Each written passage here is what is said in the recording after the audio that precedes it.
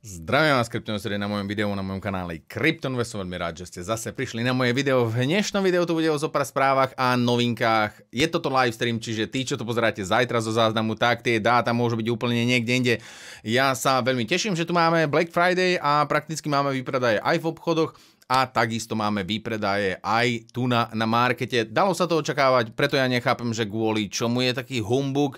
E, nie všetko sa to dá pripísať správam, hej, ale Vyzerá to tak, že, že tento, e, ten, túto paniku spustilo aspoň teda niečo, ešte sekundičku, keďže dnes nejako ani ja nie som pripravený, keďže ma stále niekto otravuje. E, ešte čajík som si musel zaliať, čiže kvôli tomu e, sme trošička neskôr. Dobre, poďme teda, bez toho, aby sme to nejako predlžovali, poďme sa teda pozrieť na market, ako nám stojí na tom market, čo nám hovorí náš klasický CoinGecko. CoinGecko nám hovorí o tom, že ten prepad stále ešte pokračuje minus 8, 1% Bitcoin dominancia stráca 40% dominanciu 39,6%. Čo sa marketu týka, máme tu aj nejakých výťazov dneška a tým sú Gala, Basic Attention Token, Sand, Leo Token, Cadena a to je prakticky všetko. E, okrem teda Gali, ktorá spravila 10%, e, ale mala takisto väčší prepad. Čiže zatiaľ teda žiadny nejaký obrovský výťazí e, práve dneška čo sa týka najväčších loserov dneška, tak tu máme Curve DAO token, ktorému určite mal veľmi, ale že veľmi, veľmi pekný progres smerom hore, aj sme ho zobrazili na čarte. Mám taký pocit, že nehytol ten target, ktorý sme mali, a keďže to bolo pri tom peknom bouncy, ten bounce bol úplne nádherný a potom zostrelil ho mega e, práve Bitcoin. Čiže e, Curve, e, da, Curve vyzeral úplne vynikajúco, čo sa tradu týka. Dúfam, že niekto zobral ten profit. Ja som ho teda nestihol, keďže som bol zaneprázdnený práve tým um, tým eh, Monkey Ball eh, vecami, hej, čiže eh, práve kvôli tomu som si nestihol posunúť tú, tú odpredavujú hodnotu a vôbec som to vôbec nestihol, hej, dneska ráno som proste potreboval sa aj vyspať.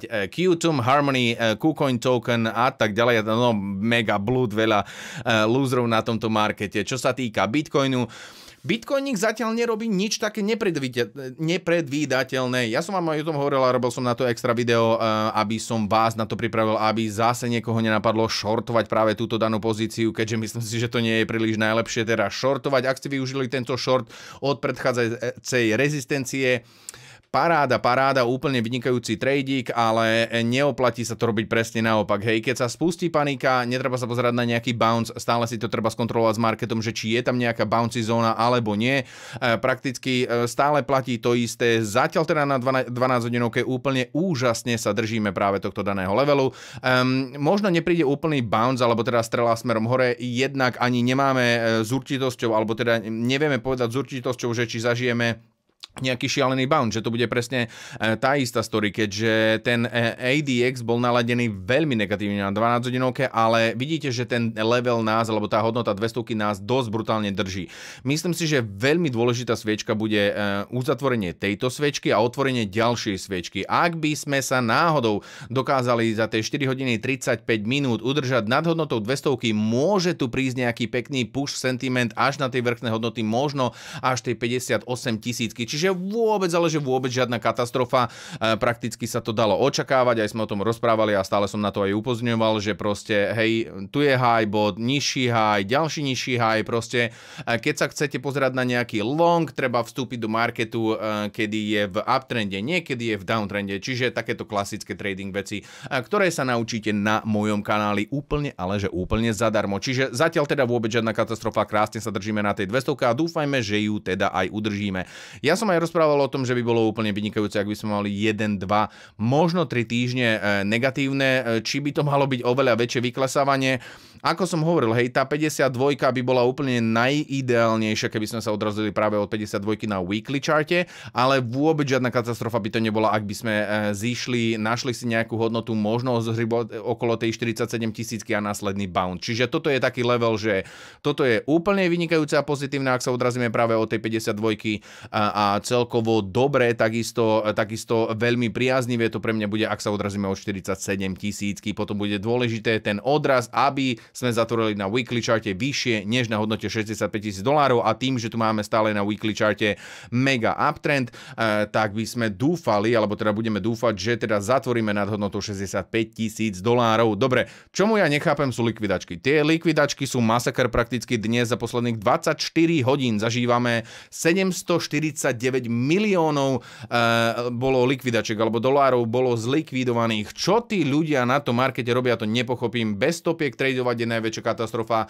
Uh, tí, čo nemáte skúsenosti s marketom a nemáte skúsenosti s analýzou, proste nevstupujte do obchodu hala bala, a zabudnite na páku. Fakt, že zabudnite na páku. Páka je úplne takým tým požieračom, že prídete na market, dáte si menšiu, väčšiu páku, už to je jedno, koľko si dáte. Prvý, druhý trade vám možno vyjde, vyzerá to úplne vynikajúco, že tam naskakujú tie percentá, ale ak to robíte tak len od buka, tak to proste nebudete mať eh, príliš veľký um, úspech, hej, a potom eh, musíte mať na to stanovenú stratégiu. Čiže určite tí, čo máte menej skúsenosti, alebo tí, čo eh, zatiaľ ste vôbec ani neskúšali spotový trading, tak sa vôbec ani nehrabte do, do toho tradu. A zase takéto tradovanie, ak využijete trend jednoznačne si treba stanoviť trend a ísť podľa tohto daného trendu, kedy na rezistencii máme downtrend a sme na rezistencii, tak nejdeme longovať, lebo ja viem, že je to také, že každý dúfal a veľa tweetov som videl, že prakticky keď sme boli na touto hodnotou alebo na tejto hodnote 59 800 dolárov a 59 tisíc sme prekonali, už bol extrémne pozitívny Twitter, ideme na long a 100 X, 50 X zapnutá,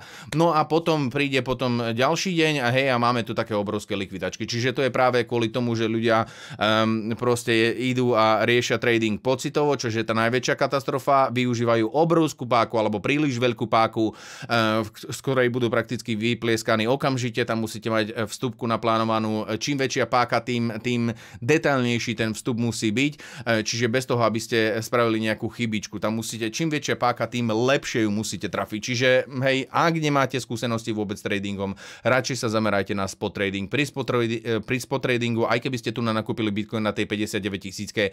Áno, máte síce v dolárovej hodnote možno trošička menej, alebo teda vaše portfólio je od, uh, z dolárovej uh, hodnoty uh, trošičku menšie, ale vôbec žiadna katastrofa. Hej, Bitcoin je stále z, toho, z tých väčších timeframeov je stále v uptrende. Dobre, čo všetko mohlo spustiť práve ten, ten prepad dole je tá pliaga, hej, nejaký nový, nová mutácia vznikla tej pliagy, čiže hm, neviem, neviem, či, či teda tomu mám veriť, alebo chcem veriť. Možno to spustilo nejakú menšiu paniku, keďže som čítal aj na CNBC a pozeral som nejaké videá na eh, CNN, CNBC, kde eh, prakticky troška sa zatriasol market, tradičný market, ale keď si pozriete eh, stránku, a to je tá Finviz, um, ináč Slovak to mám taký pocit, že vytvoril a predal, tak proste máme tu veľkú katastrofu, ale nie sú to obrovské až také prepady. Čiže bolo to určite ovplyvnené tým, že že prišla nejaká takáto správa, že nová mutácia, ale tých mutácií vzniká dennodenne x kvantum. E, čiže, alebo teda nie, že dennodenne x kvantum, ale tých mutácií tu máme stále viac. Stále sa rozpráva o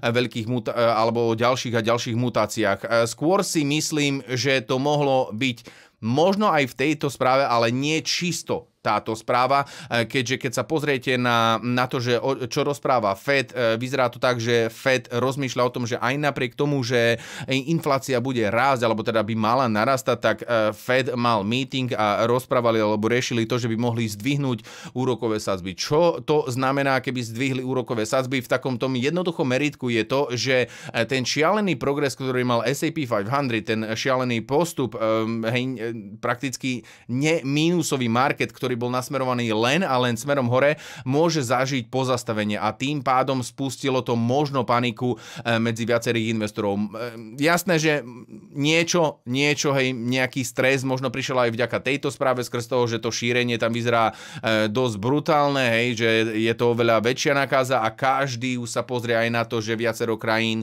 ako Slovensko aj Česká republika oznamili um, núdzový stav. Niektoré krajiny majú lockdown, čiže zase pri prichádza, hej, december, január, kedy zase to možno všetko bude pozatvárané a to bude mať dopad na ekonomiku.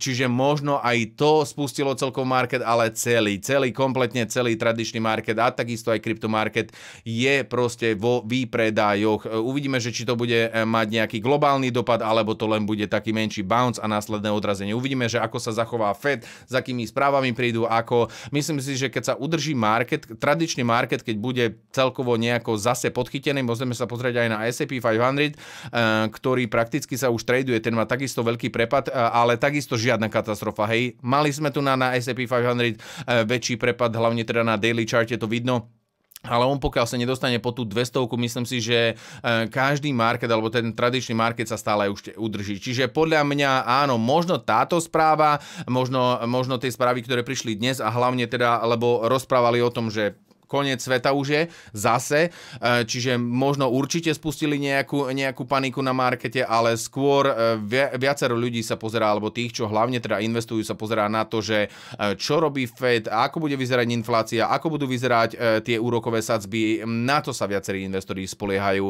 A uvidíme, že čo, ako dopadne práve práve tento variant, kedy už aj Pfizer e, rozpráva o tom, že sú tu nejaké obrovské problémy, alebo môžu to byť nejaké obrovské problémy. Dobre, tu naďalej popisujú aj o bullish divergencii. Ako som hovoril, či by prišla nejaká správa, alebo neprišla nejaká správa, možno Bitcoin by sa až tak nezosypal, ako sa zosypal. Možno by ho predsa len udržala táto supportová zóna, ktorá ho e, celkovo udržávala prakticky e, zo pár dní.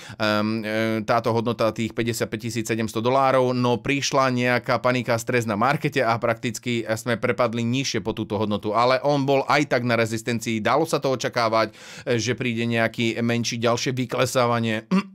Možno nie také razantné, ale očakávala sa, očakávalo sa to e, vyklesávanie. Určite tomu pomohol tradičný market, možno tomu pomohla aj táto správa. Určite, s určitosťou to povedať teda nevieme. Dobre, máme tam aj divergenciu, čo prakticky znamená divergencia. Toto je bullish divergencia, e, keďže si to môžete všimnúť tu na, na čarte, hej, e, cena ide smerom dole, indikátory e, e prakticky stúpajú, hej, e, nie príliš, alebo teda nesúhlasia, toto je regulárny, e, regulárna divergencia a to by malo prakticky zaznamenávať bounce. A keďže si všimnete, e, že zatiaľ nemáme tu nejaký obrovský bounce, ale máme tu aspoň podporu, máme tu aspoň zastavenie toho úplného šialenstva. Dobre, čo odporúča milionár e, z Mexika? Odporúča nakupovať Bitcoin práve v tejto danej chvíli, keďže tu máme výpredaj e, na Bitcoine. Zatiaľ teda Bitcoin stále z dlhodobého hľadiska úplne super. Eňo tuty na uh, weekly charte to zatiaľ nevyzerá zle. Potrebujeme si počkať na to, kým sa tam vytvorí dno.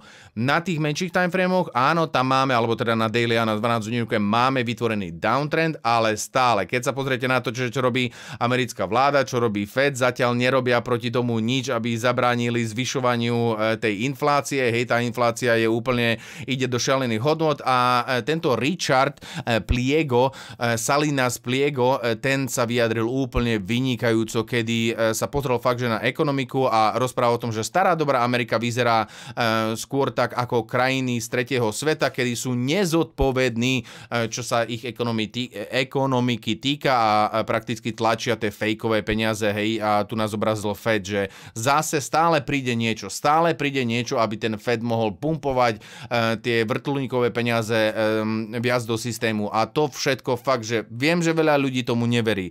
Ja sám si to osobne neviem príliš predstaviť, ale stále to mám v hlave, že aj napriek tomu, že Amerika má dominanciu e, vo svete ako takom, hej, americký dolár je stále tým e, top platidlom, e, je stále takouto globálnou menou, ale to neznamená, že nemôžu prísť do nejakej, do nejakej nepríliš najpríjemnejšej špirály, kedy to s nimi bude ísť dole vodou. Hej. Ako som hovoril vo viacerých videách, zažíva to Turecko, zažilo to aj Nemecko, síce bola situácia úplne iná, ale zažilo to aj Bulharsko a viacero iných krajín. Hej. Anglicko, Holandsko tí mali tak takisto niekedy v neviem v akých rokoch, hej, 1800 niečo, 1700 niečo, e, boli takisto globálnym platidlom, alebo teda dominantnou krajinou. A zrazu, hej, e, sa to vymenilo Holandsko s Anglickom, potom následne e, to bola Amerika, Amerika je tam asi, mám taký pocit, že najdlhšie. Ale mám, čo som čítal niekde dáta, tak mám taký pocit, že nie veľa krajín si to udrží nad 100 rokov. Čiže asi toľko, ale pohľadám niekde ten článok, aby som to teda e, dohľadal. Dobre, ARK Investment Katie Wood takisto vôbec nestresuje nad tým, že Bitcoin zažíva nejaký dip. Ona sa pozerá na Bitcoin investíciu ako na dlhodobý, e, alebo teda dlhodobú investíciu, čiže ona takisto vôbec žiadna panika, vôbec žiadny stres. Mali by sme pozerať na týchto ľudí, e, čo rozprávajú a oni rozprávajú to, že netreba, alebo pre nich nie je stres a panika to, že Bitcoin zažíva nejaký dip Uvidíme, že či to bude menší dip alebo väčší dip, ale oni e, investujú do Bitcoinu aj hlavne skrz toho, že sa pozerajú na ekonomiku. Jasné, že um, ARK Investment a možno tento miliardár z Mexika a ostatné veľké, veľkí hráči neinvestujú možno len do kryptomarketu, ale pozerajú sa hlavne teda, že čo robia ekonomovia, ako sa správa Fed, ako sa správa ekonomika, aké dopady e, to, že tlačia um, tie um, proste peňažky len tak tak ehm, bez, bez rozmýšľania a zvyšuje sa inflácia, aký dopad to môže mať eh, na investície a takisto aj na krajinu. Čiže práve preto oni investujú tie peniaze a príliš veľmi nechcú eh, si sedieť na tých eh, peniazoch, keďže to nedáva celkovo zmysel a logiku. Čiže to sú presne tie indikátory, ktoré by ste mali všímať, celkovo by ste mali, a ak, myslím si, že ak ľudia pochopia ekonomiku, že ako funguje ten ekonomický systém, tak proste, hej, nedáva to inú logiku, proste ostávať v, v cash peniazoch je najväčšia katastrofa, čo môžete spraviť. Ale to určite všetci tu na už viete. Dobre, Európsky parlament alebo Európsky koncil, e, ten sa rozhodol, že posúva e, tie rámec regulácií v Európskej únii, e, chcú vytvoriť dve regulačné sféry alebo sektory, alebo teda organizácie, ktoré budú dohliadať nad, na kryptomarket a takisto aj na, na digital ako tu je preklad presný, aby som teda bol presný, zákon o digitálnej pre, e, prevádzkovej odolnosti, čiže MICA a DORA. MICA a DORA budú strážiť Európsky, e, Európsku úniu pred e, kryptomarketom, pred investovaním do kryptomien. Prakticky MICA by mal byť framework, alebo teda ochrana pred tým, aby ochraňovala investorov pred nejakými hej, fraud, pred nejakým nebezpečím, alebo teda podvodom. Neviem, že ako to chcú vyriešiť. Zatiaľ teda nemáme viac informácií, hlavne sa teraz zamerajú na burzy. S tým, že proste KYC asi bude teda nutné na, na kompletne každej burze a takisto Dora, e, Dora rieši um, stablecoiny, mám taký pocit, že to tu niekde bolo napísané. Čiže budú riešiť stablecoiny, Dobre, niekde, niekde to tu je proste napísané, len to tu nevidím. Budú riešiť stablecoiny um, a, a ich, ich vydávanie tých eh, stablecoinov, aby to nedopadlo tak, ako to dopadlo práve s Facebookom. Dobre, všetci chcú Bitcoin, alebo teda kryptomeny. Aspoň teda minimálne podľa tohto preskumu, ktoré spravilo crypto.com, e, konkrétne v Austrálii, skoro každý jeden e, Austrálčan chce Bitcoin tak, ako to po, e, popisujú, to, alebo kryptomeny, tak, ako to popisujú v tomto článku. Na Vianoce všetci chcú e, kryptomeny. Jasné, že to nie je, že úplne všetci, keďže toto bolo spravený preskum len z 2000 ľudí medzi e, ročníkmi 18-ročnými ľuďmi až 59 e, rokov. Hej, toto bol prieskum medzi 2000 ľudí, kedy 65 25% ľudí sa vyjadrilo, že vidia kryptomeny aj ako alternatívu um, a nielen ako investíciu. 25% ľudí zvažuje na to, že by nakúpili kryptomeny na Vianoce ako darček, čiže celkovo dobré dáta. Viacero ľudí sa pozerá teda na kryptoburzy, niektorí to budú nakupovať cez crypto.com a iné platformy, ako je napríklad Luno, ďalší cez rôznych brokerov a, alebo cez investičné aplikácie a 3%, 3,3% nejakým iným spôsobom. To by ma celkovo zaujímalo, že akým iným spôsobom e, to chcú riešiť. Čiže celkovo pekné dáta, hej, e, uvidíme, že keby tento prieskum bol spravený dneska, uvidíme, že či by boli také isté výsledky, ako sú práve teraz. Dobre, ďalšou zaujímavou správou je, že máme tu Black Friday nie len čo sa týka nákupu kryptomien, ale máme tu aj Black Friday, čo sa krypta týka rôznych aplikácií. Čiže tí e, viacerí merchants alebo viacerí predajcovia, čo majú majú BitPay, tak ohlasujú zľavy.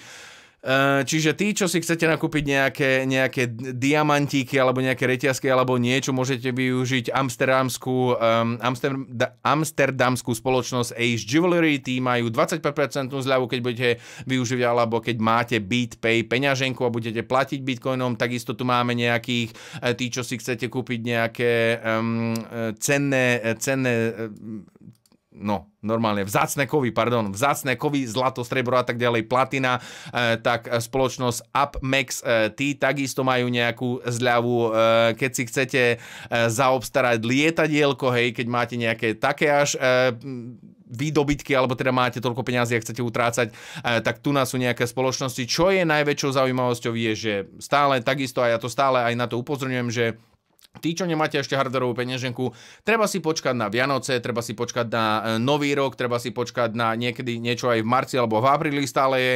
Čiže treba si počkať, čo sa týka hardwareových peňaženiek na nejaké zľavy. Keď využijete môj link, budete mať zľavu, e, alebo teda celkovo je zľava, nemusíte využiť môj link, môžete využiť môj link um, na hardwareovú peňaženku. Hardwareových peňaženiek nikdy nie je dosť stále sa ma pýtajú ľudia a stále ľudia idú po tej lacnejšej voľbe. Či už zvolíte Trezor alebo Ledger, chodte po tej drahšej forme. Tá drahšia forma peňaženiek e, je oveľa lepšia, viac, e, alebo veľa ľudí to nevie, že keď si zvolíte tú najlacnejšiu formu, tam dáte asi 3 e, kryptopeňaženky. Dáte tam bitcoinovú peňaženku, dáte tam Ether a dáte tam ešte niečo a možno ešte nejaká ďalšia peňaženka sa vám tam zmestí, lebo čím lacnejšie zariadenie si kúpite, tým menšiu kapacitu máte na tom kvázi, hej, hardwareovej peňaženke, alebo teda USB kľúči, už keď to mám takto porovnať, keďže niekto to takto porovná porovnal. Nie je to USB kľúč, ale má to svoju e, pamäť, hej, neviete tam natrepať kompletne všetky kryptomeny. Na tie drahšie e, zariadenia tam fakt, že oni sú unikátne, celkovo sú aj kvalitnejšie spravené, sú oveľa lepšie, čiže ak sa pozeráte na hardwareovú peňaženku, minimálne čo sa týka Trezoru a minimálne čo sa týka Ledgeru, chodte do tých drahších zariadení. Stoja možno 50 alebo 80 dolárov e, viac, alebo teda eur viac, ale je to nebe a dudy. Oplatí sa dať radšej do tých drahších zariadení. TradingView takisto tí, čo využívate funkcie a chcete mať viacero indikátorov, nie len 3, e, tak jasné, že môžete využiť, do frasa som sa mimol, e, môžete využiť 60% zľavu aj takisto na TradingView. Myslím si, že sa to oplatí, hlavne teda tí, čo využívate aktívne TradingView. Tí, čo um, nepotrebujete, alebo teda TradingView je zadarmo, nepotrebujete si tam platiť proverziu, ale tí, čo sa venujete už technickej analýze trošička detailnejšie, myslím si, že vám to vôbec neublíži. A potom ešte zo pár ďalších spoločností ktoré ponúkajú nejaký, nejaký deal, eh, krypto deal Budeme tu mať fyzický Bitcoin fond a to konkrétne v Singapúre. Čiže zatiaľ teda stále čakáme ešte na NFT, e, na ETF v Amerike, spotové ETF, no v Singapúre sa e, to posunulo na iný level, kedy sa tam vytvára v Singapúre, e, vytvárajú dve nové fondy a to budú konkrétne, jeden bude fyzický Bitcoin fond a ďalší bude, konkrétne názvy sú um, The Fintonia Bitcoin Physical Fund a ďalší fond bude The Fintonia Security Yield Fund. Čiže asi viete, od ktorej spoločnosti uh, budú vytvorené tieto, uh, tieto fondy. Jeden bude, a tu, tu je ten obrovský význam, hej, physical, physical, čiže fyzický Bitcoin. Čiže tento fond bude slúžiť pre um, aktív, alebo teda uh, pre investorov um, na to, že budú si môcť nakúpiť fyzický Bitcoin a práve tento fond to bude mať len pod správu. Čiže bude prakticky custody service, ale keď nejaký klient bude mať záujem o nákup Bitcoinu, tak musia nakúpiť fyzický Bitcoin. Potom tu ďalej máme práve ten uh, Secure Yield Fund, ktorý bude zabezpečovať napríklad minerom, ako tu napodpisujú uh, minerom, traderom, alebo spoločnosti, ktoré vlastnia uh, Bitcoin na to, aby to ponúkali, alebo ponúkali ďalej tým klientom yield, čiže nejaký budú ponúkať na lending, hej, môžu si zobrať, alebo teda založiť svoj Bitcoin a vybrať si nejaké cash peňažky, keď chcú napríklad rozvíjať svoju Bitcoin farmu. Čiže toto sú úplne vynikajúce veci a aj napriek napriek tomu, že dumpujeme na tomto markete, tento market stále rastie. Čiže keď sa pozrieme na cenu, cena síce ide smerom dole, ale adopcia ide smerom hore a tá adopcia ide smerom hore od roku 2018, prakticky keď sme mali brutálne pozastavenie,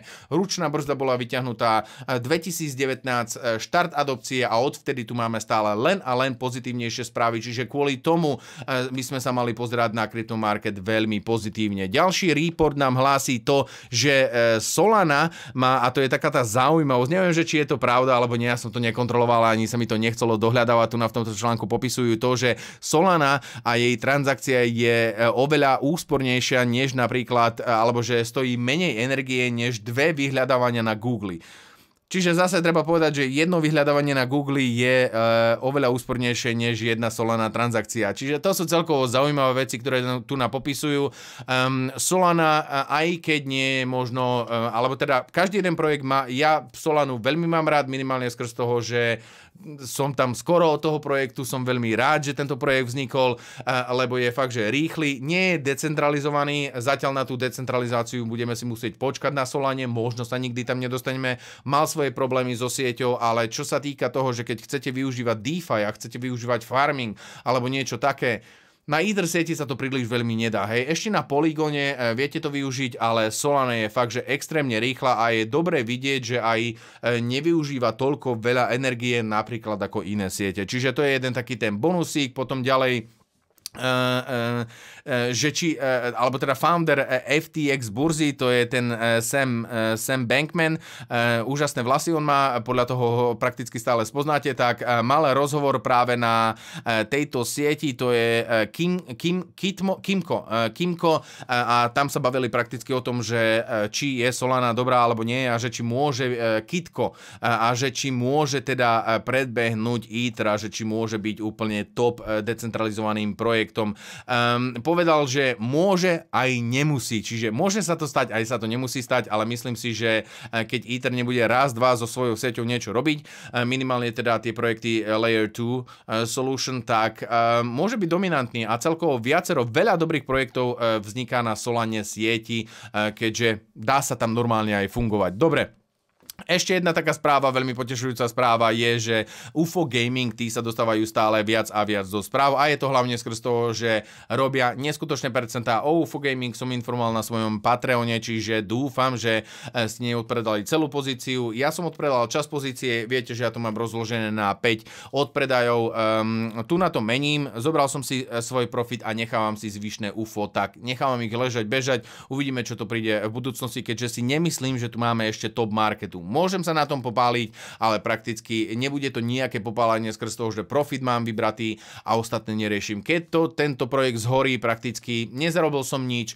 ale ani som nič neprerobil. Čiže dúfame, že teda nezhorí a že odpálí dekel, tak ako všetci chceme. A potom veľmi známa, tí, čo ste v DeFi, tí, čo riešite gaming, tí, čo riešite hoc čo, čo sa DeFi týka, D-App Raider, eh, tí spúšťajú svoj vlastný token. Zatiaľ nevieme, že či bude nejaký airdrop. Dá sa predpokladať, že tam bude nejaký airdrop. Čiže tí, čo ste, alebo chodíte na, na, na DA Raider, uh, vytvorte si svoj účet, prepojte si to so svojou peňaženkou nejakou, možno tam bude airdrop, keďže každý teraz špekuluje a každý sa ženie teraz len a len po airdropoch. Toto by bola posledná správa na dnes. Dnes sa mám, uh, keď sa chcem, alebo keď sa mám priznať, nemal som chuť ani na správy skrz toho, že dnes samé negatíva boli na markete uh, ohľadom tý, tej, tej, no nechcem ani hovoriť, že čo, lebo ma náhodou YouTube uh, zbanuje, ale uh, pozrieme sa na market, dúfajme, že tam budú, nájdeme aspoň teda zo pár príležitostí. Týmto sa chcem s vami rozlúčiť, vidíme sa v ďalšom videu. Uvidíme, že či v sobotu alebo v nedelu prídem s nejakými videami. Možno to bude len uh, update, keďže správy, možno si dám trošička uh, voľno. Veľa, veľa negatív bolo tohto uh, týždňa, čo sa správ týka a ja som pozitívny človek, ja aj v tom najväčšom prepade, aký máme, stále vidím tie pozitíva. Prakticky červený market znamená, uh, že by ste mali stláčať len a len to, to zelené tlačítko. Čiže to je presne to, ten market, ten čas na markete, kedy chcete uh, si normálne uh, dať do oka a nemať nič iné vokú, len to zelené tlačítko, čo je buy tlačítko. Dobre, ja vám veľmi pekne ďakujem, vidíme sa v ďalšom videu. Čaute.